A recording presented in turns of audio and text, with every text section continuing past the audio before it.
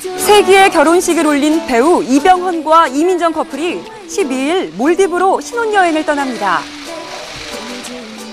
양측 소속사에 따르면 두 사람은 12일 밤 인천국제공항을 통해 몰디브로 출국할 예정이라고 하는데요.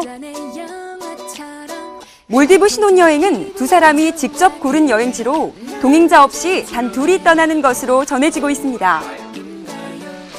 두 사람은 약 열흘간의 신혼여행을 마친 후 이병헌의 집 경기도 광주에서 신접 살림을 차릴 예정인데요. 이후 이병헌은 영화 협력 할의 기억 촬영에 돌입할 계획이고 이민정 역시 차기작 선정에 나서며 곧바로 작품 활동을 이어갈 계획입니다.